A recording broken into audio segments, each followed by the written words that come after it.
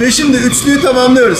İskoçya'nın üçüncü büyük kenti Aberdeen'deyiz. 1970'te Kuzey Denizi petrolleri bulunduktan sonra burası çok hızlı bir atılıma geçiyor ve büyüyor. 14. yüzyıl ve 15. yüzyıl buranın e, gemicilikle Don Nehri üzerindeki e, taşımacılıkla geliştiği şehirlerden biri haline getirtiyor Aberdeen'i.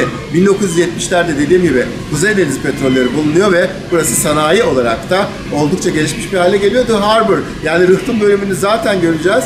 Onun yanında Old Aberdeen yani eski Aberdeen'de de özellikle Aberdeen Koleji e, ve üniversite binaları, e, oradaki katedral, e, denizcilik müzesi, bir işkence müzesi var. Tarihin kötü anlarına şahitlik eden bir müze. Orası şu an sanırım geziye kapalı ama en azından dışarıdan göstereceğiz. His Majesty's Theatre. Oldukça çalıştık. Güzel bir Aberdeen bölümü sizleri bekliyor efendim. Gri şehirdeyiz.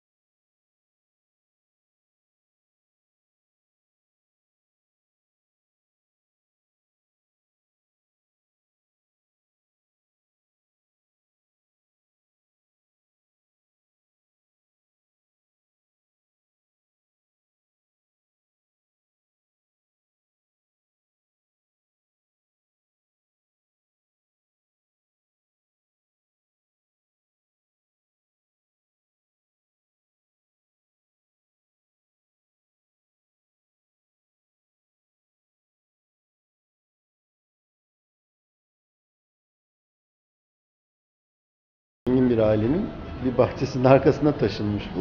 Orada takılmışlar öyle. Aa! Evet sonra da müzeye konmuş buraya alınıp.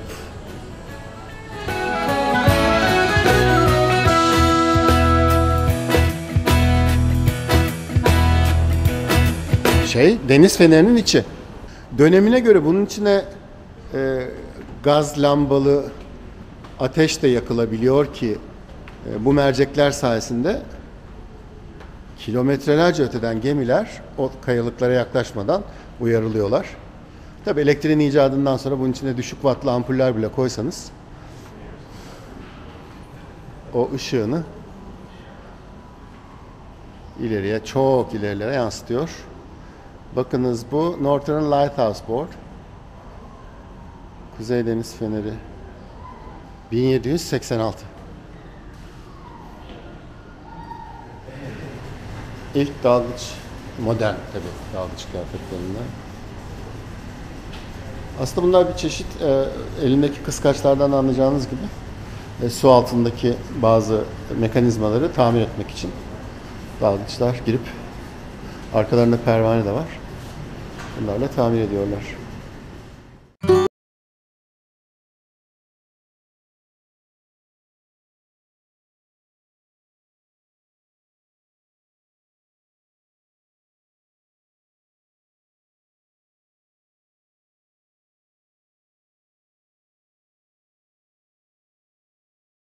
Bir silah, bir deniz tüfeği, e, gemi tüfeği.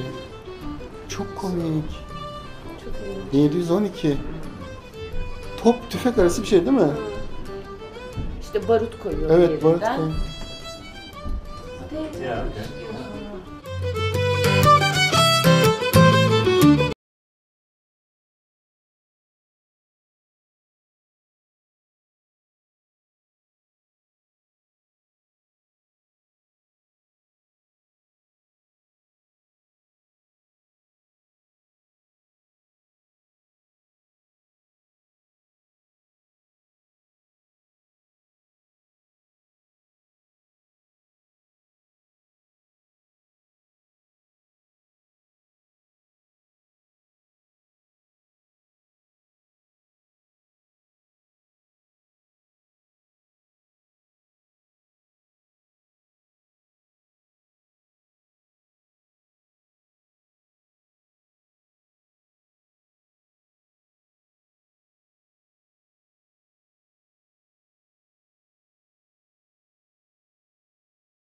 Az büyük bir maket var.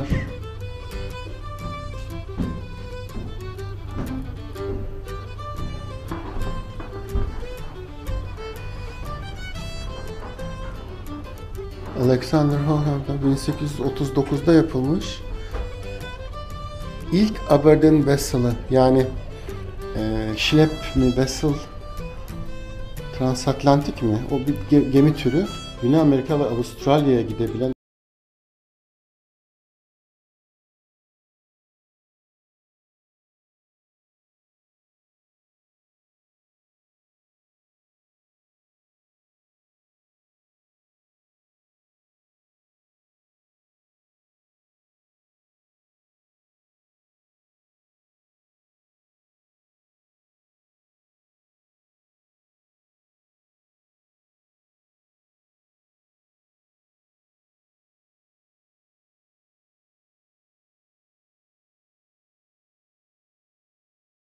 yüzyılın sonlarına doğru e, Aberdeen'in ilerleyen sanayileşme hamleleri e, şehrin hem o gri binalarının hem de e, cadde oluşumları yani şehir planlaması George Street, King Street, Union Street e, o dönemlerde yapılmış. 19. yüzyılın başına kadar şehrin planlaması tamamlanmış. E, artık denizcilik güçlü, şehir güçlü, binalar tamam ama Napolyon savaşları başlamış. Napolyon savaşlarında ekonomi oldukça gerilemiş. Sonra ta ki 20. yüzyılda tekrar toparlanana kadar. İşte büyük firmaları İskoçya-Japonya işbirliğiyle adaya getiren kişi